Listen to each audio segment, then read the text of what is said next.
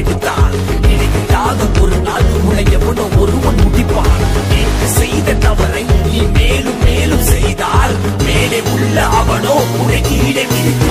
கொள்வான்